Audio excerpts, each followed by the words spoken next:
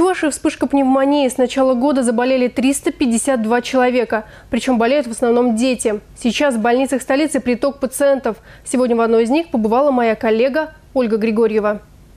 Для двухлетней Софии и трехмесячного Серафима Самсоновых поход в гости закончился больничными койками и воспалением легких. Сейчас дети вместе с мамой и бабушкой в Республиканской детской клинической больнице. В общем, мы э, были в гостях, и София у нас э, после ночью заболела.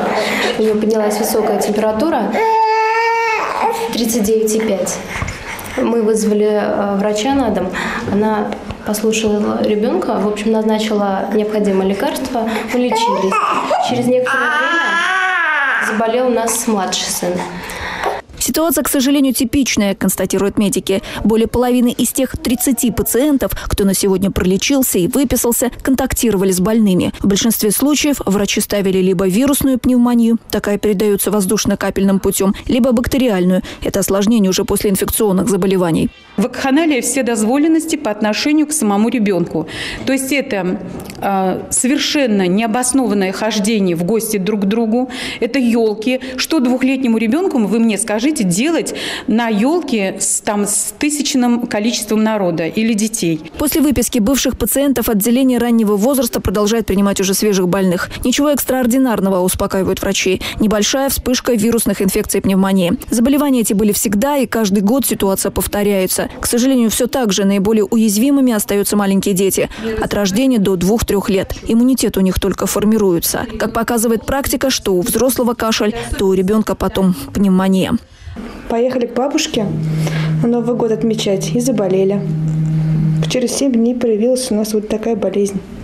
Стало ребеночку плохо, температура поднялась, отдышка появилась, плохо дышит. Кто был больной? Вот болел у нас дедушка больной, оказывается, был. Но он покашливал к тому времени. Встречаться с инфекциями, конечно, нужно. Это тренирует организм, считают медики. Но не до таких же серьезных случаев. Чтобы дать инфекциям хороший отпор, важно соблюдать простые правила. Правильно кормить детей, питание должно быть белковым, делать прививки, изолировать малышей от больных или надевать маски. Ну и, конечно, элементарное правило, которое никто не отменял – чаще мыть руки. Современные родители нередко поступают с точностью да наоборот. Питание должно быть адекватное. Не могу полностью сказать, что в праздники наши дети достойно питались. И из тех детей, э, которые выписаны, даже годовалые дети получали тортики, получали э, с общего стола салатики и так далее, и так далее. Схвативших воспаление легких детей сейчас госпитализируют несколько клиник. По данным Минздрава, дополнительные койки наряду с Республиканской детской клинической больницей приготовлены еще в третьей и четвертой детских городских больницах. Ольга Григорьева, Евгений Анисимов, Республика.